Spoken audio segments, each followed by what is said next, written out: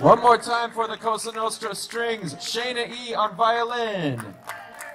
Keith Lawrence on the viola. Lewis Patzner on the cello. Aaron Kerbel on the drums and percussion. My name's Adam Theis. Thanks everybody. We love you. If you want to pick up